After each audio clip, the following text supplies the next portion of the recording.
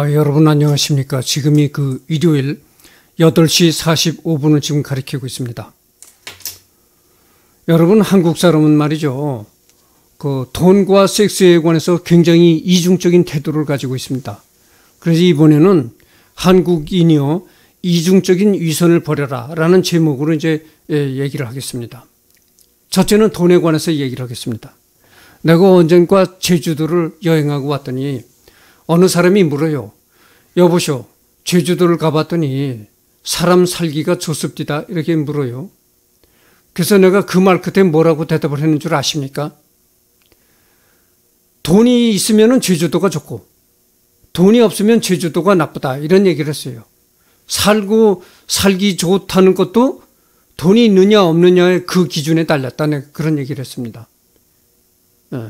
그러니까 돈이 있는 사람은 제주도가 살기가 좋고 돈이 없는 사람은 제주도도 살기가 나쁘다 이런 얘기를 했습니다.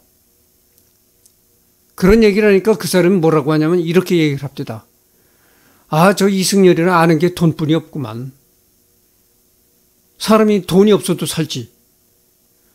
어떻게 이렇게 돈 타령만 하느냐. 아, 이렇게 얘기를 하더라고요. 근데 그것이 한국인의 이중적인 돈에 대한 관념입니다. 여러분들 그렇게 돈에 대해서 이중적인 태도를 가질 필요가 없습니다. 우리가 한번 냉정하게 생각해 보십시다. 내가, 내가 예를 들어서 내가 딸이, 딸이 있다면 돈 한 푼 없는 월세 사는 사람한테 시집을 보낼 수가 있나요? 어? 돈 한 푼 없어서 남의 집 원룸에 사는 사람인데 그래도 어?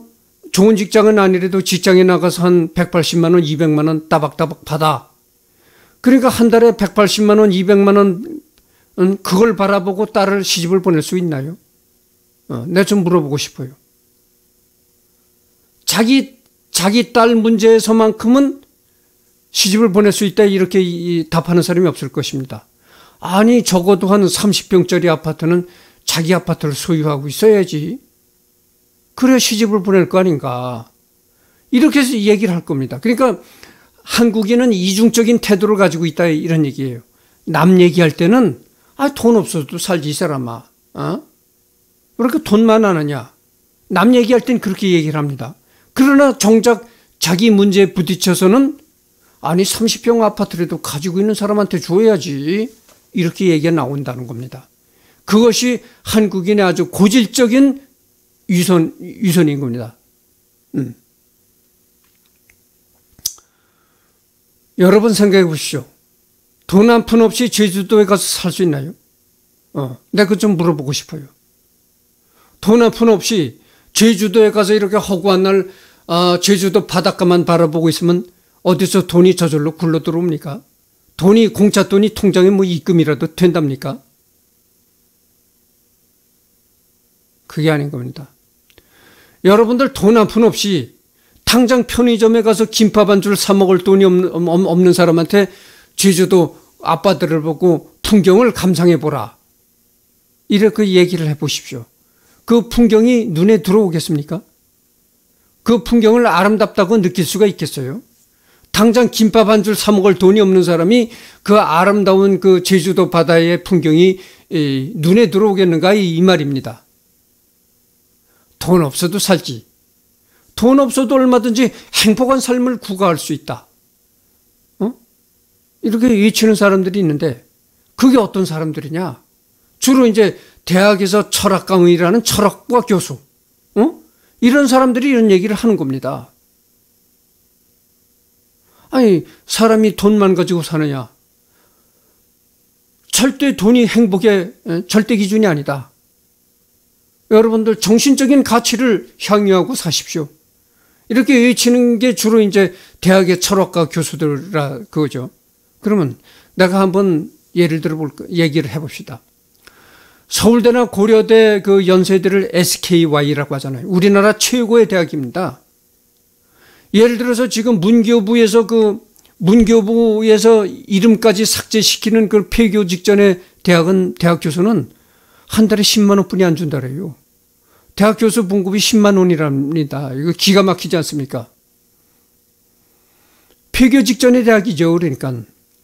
아니, 우리가 흔히 공장댁이라고 비우는 공들이 월급도 한 달에 한 200만 원 받는데 명색이 그래도 대학 교수 아닙니까? 대학 교수라면 그래도 그 어? 지식인요 화이트 칼라라고 누구나가 그 생각하는 거 아닙니까? 그런데 대학 교수 봉급이 한 달에 10만 원이랍니다. 폐교 직전의 대학. 그러니까 그런 대학은 말고 우리나라에 가서 우리나라에서 최고급을 달리는 SKY를 얘기를 하는 겁니다. SKY의 정교수. 그러니까 요즘에는 교수란 말도 너무 남발이 돼. 무슨 시간 강사도 외래 교수니, 초빙 교수니, 이런 근사한 말을 붙여가지고 교수처럼 이렇게 얘기를 하는데, 시간 강사니, 외래 교수니, 초빙 교수 이런 거 말고, 그런 건 정 교수가 아니에요. 정직원 교수를 내가 얘기를 하는 겁니다. 서울대나 연세대, 고려대 정 교수의 봉급이 얼마죠? 정확히는 내가 모르지만 천만 원 가까이 되든가 난 그렇게 될 거라고 생각을 합니다. 응? 물론 본봉은 뭐 천만 원이 안, 되, 안 되겠지만 여러 가지 수당 뭐 이런 것까지 합하면 결국은 종합적으로 볼 때 한 천만 원 가량의 봉급은 받지 않을까 생각합니다. 그러면 물가가 아무리 지금 뛴다 하더라도 한 달에 천만 원이 적은 돈입니까? 예? 한 달에 내가 지금 얼마를 가지고 사는 줄 아십니까? 180만 원 가지고 살아요. 180만 원 가지고 살면서도 이렇게 예? 유튜브에 나와서 또 잘났다고 떠들고 깨끗한 한복 물론 이건 기성복이지 맞춤법도 아니고 깨끗한 한복 차려입고 잘났다고 마이크 앞에서 떠들어 지키는 거요. 180만 원 가지고도 그래도 내 잘났다고 이렇게 사는데 한 달에 천만 원이 그게 적은 돈입니까? 그렇게 한 달에 천만 원씩 받는 온실 속에서 살으니까 그런 얘기를 할 수가 있는 거요. 돈 없어도 살다 살지. 정신적인 가치를 중요시 여겨라. 이런 개떡 같은 소리를 할 수가 있는 겁니다. 응? 그러나 만일 그렇게 얘기하는 교수가 대학에서 잘려가지고 나와서 돈 한 푼 없는 백수가 된다. 저축해 놓은 것도 없다. 저축해 놓은 것도 없고, 어, 직장도 없다. 그런데 바람 쌩쌩 부는 1월 달에, 겨울 1월 달에 명동 한복판에 나가 서 있어 봐라. 얼마나 그 인생이 비참하겠는가. 이런 얘기를 내가 하고 싶은 거요. 돈은 여러분, 돈에 대해서 그렇게 유선, 유선을 가질 필요가 없는 거요. 돈은, 돈은 절대 절명에 필요한 겁니다. 예? 돈은 여러분들 돈을 그렇게 우습게 알고 돈에 대한 위선적인 언행을 하면 안 됩니다. 예전에 누가 말이죠. 예전에 어떤 그 부인이 자기 남편이 공장에 다니는데 주거리 마침 봉급을 타온다 이거야. 그러니까 그 돈이 그래서 야 우리 남편이 뭘 어떻게 하길래 이렇게 직장에서 돈을 못 벌어오나 맨날 쥐꼬리만 하게 벌어오나. 이래서 그 남편이 일하는 공장을 한번 가봤다 그래요. 그 일하는 걸 가보니까 참 일하는 거는 피눈물 나게 하더라 이거죠. 어. 일은 피눈물 나게 하는데 쥐꼬리만큼 봉급을 가져오더라 이겁니다. 거기서 이 부인이 진짜 피눈물 흘렸다는 겁니다. 그 다음부터 남편이 봉급을 가지고 오면 말이죠. 지금은 통장에다 이, 이 돈을 입금시키지만 예전에는 에, 봉투에다 월급 봉투에다 줬단 말이야. 현 현찰로 줬습니다. 그 남편이 받아오는 봉급 저 월급 봉투에 들은 현찰을 다리미로 어? 여러분들 그 옷 다리는 다리미 알잖아요. 다리미를 아주 착착 이렇게 다려서 그렇게 아주 정말 천 원 한 장, 만 원 한 장을 아끼고 아끼고 이렇게 살았다는 겁니다. 그런 거예요. 돈은 구겨도 안 되고, 어? 구겨서 주머니에다 집어넣어도 안 되고, 장판, 장, 에? 곰팡이 피는 장판 밑에다 숨겨도 안 되는 겁니다. 돈은 다리미를 이렇게 깨끗이 다려서 정성스럽게 보관해야 된다는 거죠. 그만큼 돈을 귀중하게 알고 위선적인 언행을 하지 말아야 된다. 이런 얘기입니다. 내 말 아셨죠? 돈이란 건 절체절명인 것입니다. 예. 죽느냐 사느냐가 하는 것이 돈이에요. 여러분 돈을 가지고 그렇게 쓸데없는 어, 언행을 하나 하면 안 됩니다. 그건 돈에 관한 모욕이에요. 돈 없으면 죽습니다, 여러분. 내가 대학 교수 얘기를 했죠. 에? 예? 대학 교수가 왜 그 돈 없어도 살 수 있다고 허튼 소리를 하느냐? 한 달에 천만 원씩 받는 안정적인 직장이 있으니까 그런 헛소리를 할 수가 있는 거예요. 여러분, 직장 하나 없고, 백수가 저축해 놓은 것도 없고,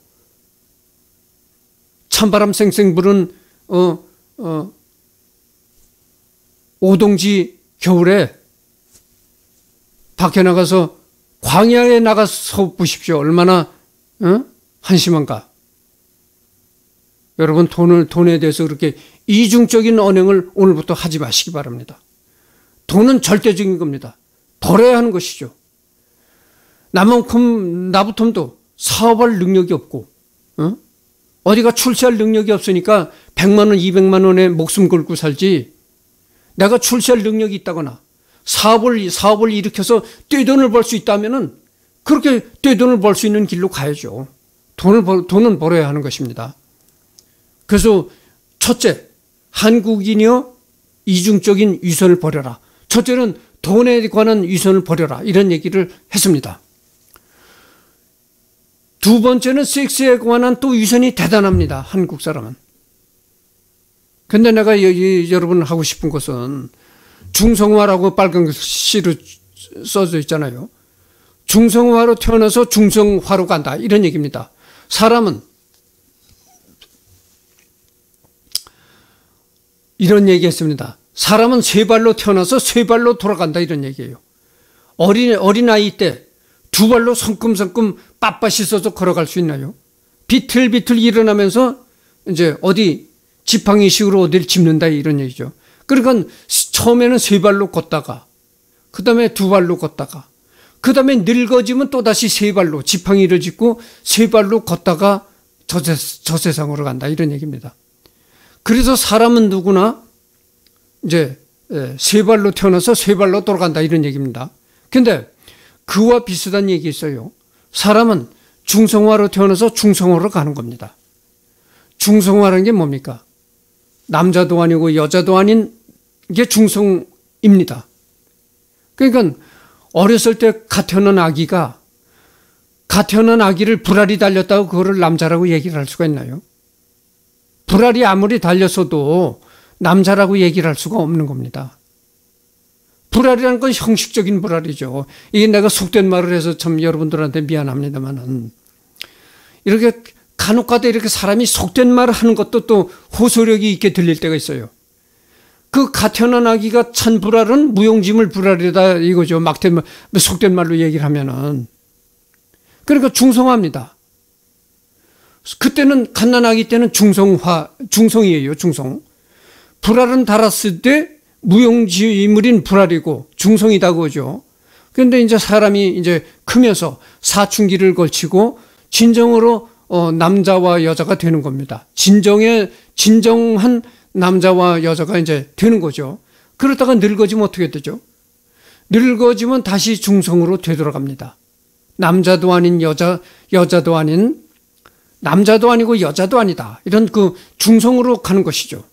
그러다가 아, 저세상으로 가는 겁니다. 그러니까 중성으로 태어나서 중성으로 가는 것이 인생이다. 이런 얘기죠. 나도 그렇습니다. 나도 이제 어렸을 때는 갓난아기 태어났을 때는 중성이었어요. 그렇지만 이제 사춘기를 지나면서 남성이 진, 진정으로 남성이 됐습니다. 그랬다가 지금 내 나이가 이제 70을 바라보는 나이가 되고 보니까 중성화가 됐다 이거죠.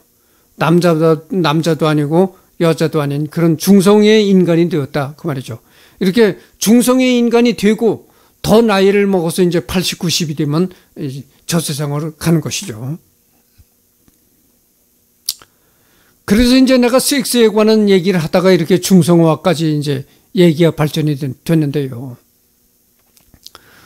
여러분들 아주 탁 터놓고 솔직히 얘기해 봅시다. 이 세상에 섹스로 태어나지 않은 사람이 있습니까? 어. 섹스로 태어나지 않은 사람이 있다면 한번 손 들어 보시오. 여러분 섹스로 태어나지 않은 사람은 저 그것뿐이 없어요. 어? 예수뿐이 없습니다. 섹스로 태어나지 않은 사람은. 예수의 어머니가 누굽니까? 마리아잖아요. 마리아가 뭡니까? 동정녀란 말이에요, 동정녀. 동정녀라는 건 뭐냐면은 시집을 안 간 여자는 겁니다. 시집을 안 간 처녀예요. 시집을 안 간 수처녀를 동정녀라고 하는 겁니다. 동정녀가 인심을 해서 임신을 해가지고 예수를 낳은 거 아닙니까? 그러니까 이 세상에 섹스를 하지 않고 태어난 사람은 예수 하나뿐이 없다. 그런 얘기를 내가 하는 거예요. 어? 그리고는 다 섹스를 해서 태어난 겁니다. 그러니까 우리가 우리가 원래 근원이 섹스 섹스가 근원이다 그 말이죠. 어. 우리 고향이 섹스다 그 말이에요. 근데 우리가 이 세상에 태어나게끔 어, 은혜를 준 게 바로 섹스다 그 말이죠. 근데 섹스를 불결하다고 할 수가 있습니까? 불결하다고 얘기를 할 수가 없는 거예요. 불결하다고 섹스를 불결하다고 얘기하는 건 자기 자신을 불결하다고 얘기하는 결과뿐이 안 되는 거예요. 그렇잖아요. 그러니까 요즘에 뭐 성교육을 시킨다고 하니까 학교에서 뭐 성교육 어쩌고 시키, 학교에서도 우리가 학교 다닐 때 성교육이고 나발이고 없었어. 성이란 자체 얘기를 교사가 입에서 교사의 입에서 성이란 얘기를 꺼내는 것 자체를 터부시했어요. 그런 시대에 내가 학교를 다녔습니다. 근데 요즘에 학교에서 그 성교육, 뭘, 성교육을 한다, 어쩐다 얘기를 한다잖아요. 그러면 부 아주 그, 그, 보수적인 사람은 깜짝 놀래요. 아니, 뭘? 학교에서 성교육을 한대? 아니, 이놈은 망할 놈의 세상. 아니, 성이라는 거야. 나이가 들고 사춘기가 돼서 나이가 들고 하면 자연적으로 깨우쳐, 알게 되고 자연적으로 깨우쳐지는 게 성인데, 아니, 뭘 그걸 학교에서 가르친대? 어휴, 이거 말세로구만. 이렇게 얘기하는 사람이 있습니다. 학교에서 가르치는 성교육이라는 게 어디다 포인트를 두느냐. 섹스는 불결하다라는 그런 그 정의하에 가르치는 게 아니에요. 섹스는 신성하다. 섹스는 고결한 거다. 남녀 간의 섹스는 신성하다라는 그런 전제로 교육을 하는 게 성교육이다. 이 말이에요. 어? 근데 섹스를 불결하다고 욕할 수가 있습니까? 아까도 얘기했지만 이성에 섹스 안 하고 태어난 사람이 어디 있나요? 예수 하나뿐이 더 있습니까? 그래서 내가 이 시간에 하고 싶은 얘기는 그거요.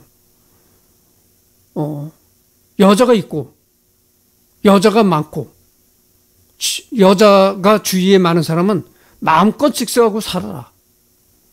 나는 절대 뭐 질투하거나 샘내지 않습니다. 아, 여자가 많은 사람은 섹스 많이 해라. 나는, 나는 한평생 여자가 없어서 이제 독신으로 산 사람이지만, 나 같은 사람은 섹스를 안 하고 산 사람이죠. 그렇다고, 그렇다고 해서 내가 섹스를 안 하고 살았다, 산다고 해서 섹스 많은, 섹스 많이 하는 사람을, 아유, 저거 불결한 놈이다. 이렇게는 욕하고 싶지 않아요. 아니, 여자가 많으면 섹스 많이 해라. 난 그렇게 얘기하고 싶습니다. 없는 사람은 없는 대로 그냥 살고 많으면은 섹스 많이 해라 이런 얘기죠. 섹스가 결코 불결한 것이 아닙니다. 어, 여러분들은 오늘 섹스에 대한 그런 고정관념을 버려야 되는 겁니다.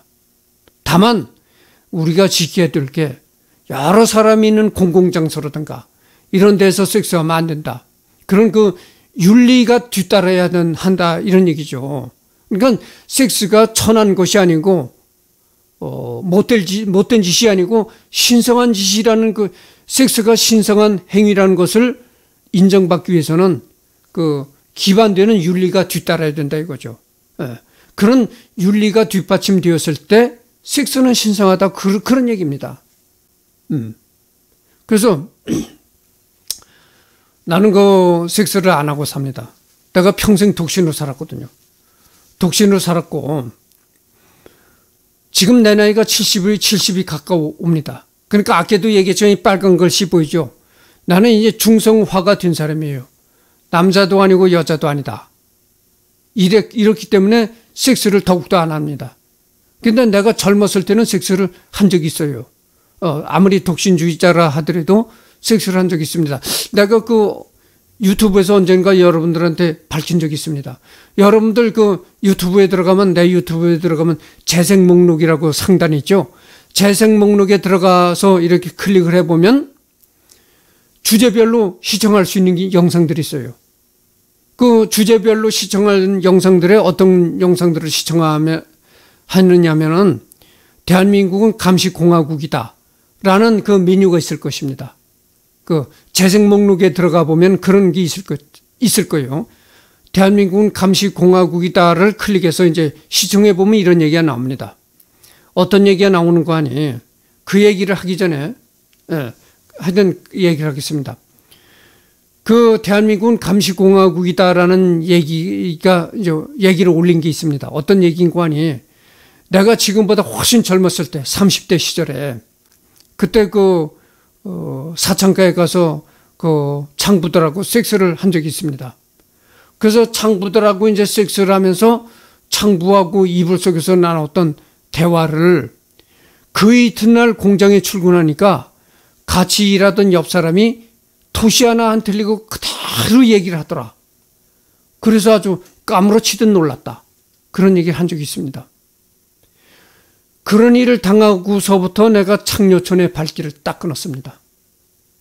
이제 내가 실토를 하는 겁니다. 여러분들, 공자님 말씀에, 공자님 말씀에 이런 얘기가 있습니다.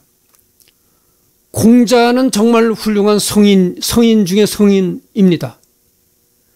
공자님 말씀에 이런 얘기 했어요. 세 사람이 길을 가면 그 중에 한 사람이 반드시 스승이 될 사람이 있다.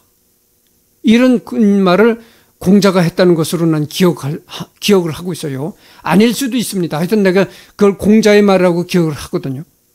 그런데 그렇다면 누가 스승입니까? 그 공장에서 바로 내 옆에서 일하던 그 토시 하나 안 틀리고 을조리, 을조리였다는 사람. 그 사람이 나의 스승입니다. 인생의 스승이에요. 그 사람 때문에 내가 창녀촌의 발길을 끄는 겁니다. 그렇지 않았으면요. 그렇지 않았으면 정신 못 차리고 그 후에도 내게 계속 창녀촌을 출입했을 것이라고 난 봅니다. 그 바람에 창녀촌에서 그 창부하고 이불 속에서 한 대화를 그 이튿날 공장에 출근하니까 공장 옆 사람이 바로 내 옆에서 일하는 옆 동료가 토시 하나 안 틀리고 그대로 얘기를 하더라. 그래서 까무러치듯 놀랐고 정신이 번쩍 들었습니다. 아, 내가 행실을 바르게 해야 되겠구나. 그래서 그 다음서부터 내가 창녀선을 딱 끊어버렸습니다. 그러니까 그 사람이 내 인생의 스승이죠. 내 옆에서 일했던 그 공장 근로자가 내 스승이다 그죠. 인생의 스승이다 그겁니다. 그러니까 공자는 정말 훌륭한 사람이에요. 공자의 말씀이 이렇게 틀림이 없습니다. 그렇다는 걸 말씀드립니다. 그래서 사람은 아까도 내가 얘기했지만 한국 사람은 이 두 가지에 관해서 굉장히 이중적인 태도를 갖고 있어요. 돈과 섹스. 어? 이중적인 위선을 버려야 하는 겁니다. 내가 이 시간에 여러분들한테 진짜 강조하고 강조하고 또 강조하고 싶은 게 이거예요. 돈은 신성한 것이다. 돈이 없으면 죽는다. 돈은 필수 불가결, 필수적인 것이다.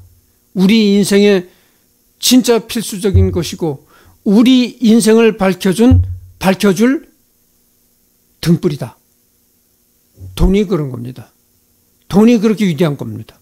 두 번째, 섹스가 불결한 게 아니죠. 섹스는 위대한 겁니다. 응? 섹스는 종족 보존을 하고 인간은 누구나 섹스를 통해서 이 세상에 태어난 겁니다. 아까도 얘기했지만 섹스를 하지 않고 태어난 사람은 예수뿐이 없어요. 섹스는 신성한 겁니다. 근데 왜 그래서 오늘날 여러분들 내 이 내 이 녹화 방송을 보는 순간 이중적인 태도를 버리시길 바랍니다. 그러면 일요일 아침에 그 한국인이요 이중적인 위선을 버려라 라는 제목으로 얘기를 했습니다.